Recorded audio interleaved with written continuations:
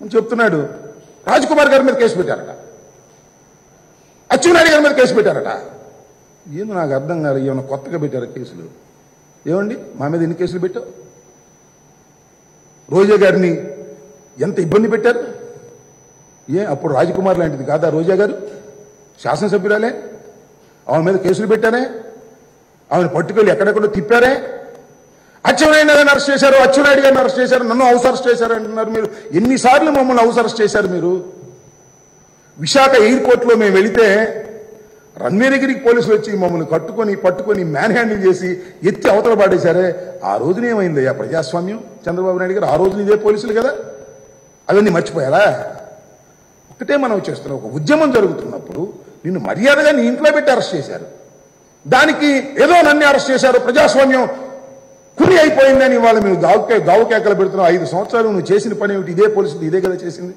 పోలీసులు సరెండర్ అయిపోయారు అంటున్నావు. ఎవ్వరు సరెండర్ కాలేదు. నేను మనవి చేస్తున్న గుంటూరు జిల్లాలో ఉన్న ఎస్పీ గాని ఇద్దరు ఎస్పీలు గుంటూరు జిల్లాలో ఐజీ గాని going to the track record వాళ్ళ ట్రాక్ రికార్డ్ చూడండి ఏ విధంగా ఉన్నారు.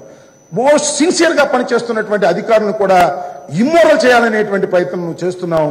ఇది దారుణమైనటువంటి అంశం. నువ్వు అధికారంలో లేకపోయేసరికి నీ ఇష్టం వచ్చినట్టుగా ప్రవర్తన చేయడం సరైనటువంటి విధానం కాదని ఈ సందర్భంగా నేను మీ ద్వారా చంద్రబాబు నాయుడు గారికి మనవి చేస్తూ వారిని కోరుతూ నేను మనవి చేస్తున్న కోడెల శివప్రసాద్ గారి మరణానికి బాధ్యత వహించవలసింది తెలుగుదేశం పార్టీ వారి కుటుంబం తప్ప ప్రత్యర్థి రాజకీయ పార్టీ కానే కాదు.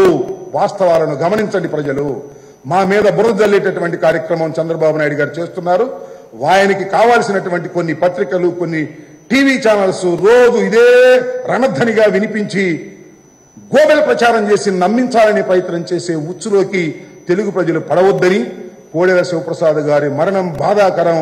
ఆ మరణానికి కారణం ఆయన ఆత్మహత్య చేసుకునే మనస్తత్వాన్ని కలిగించడానికి చంద్రబాబు నాయుడు గారు వారి కుటుంబ సభ్యుల ప్రవర్తనే ప్రధాన కారణమనే వాస్తవాన్ని ప్రజలు గమనించాలని మీ ద్వారా కోరుకుంటున్నాను.